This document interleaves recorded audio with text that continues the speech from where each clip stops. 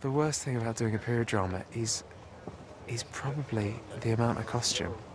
And I mean, between you and me and everyone, I have I'm wearing a thong under all this, which is uh, which is to keep everything in place under the jodhpurs, and that that's probably the worst thing because I think it's drunk in the wash, and today today's been tough.